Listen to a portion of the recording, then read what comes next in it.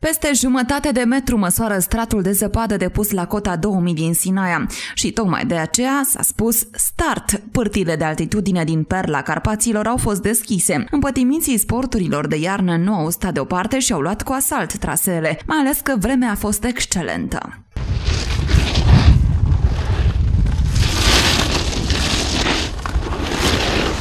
I'm here to learn ski. And you like? Yeah, very much. Excellent weather, perfect ski resorts. Yeah, good. I recommend it to everybody. Porturile sunt foarte bune, ținând cont că este decembrie, început de sezon, este foarte, foarte ok porturile. Când m-am sculat de dimineață, nu eram sigur de vreme, chiar dacă era senin.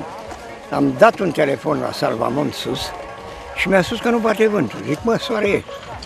Bineînțeles că în 10 minute m-am echipat și am venit aici sus. Mă scuzați că acum sunt puțin cam obosit, că am cu mai multe ture, că m-am calicit. Cum... Te bucuri. Foarte mult. De unde ai venit? A, din București. Cum e a- prima tură. Special pentru ski, Prima să tură, înțeleg. pe, prima tură pe anul ăsta, da.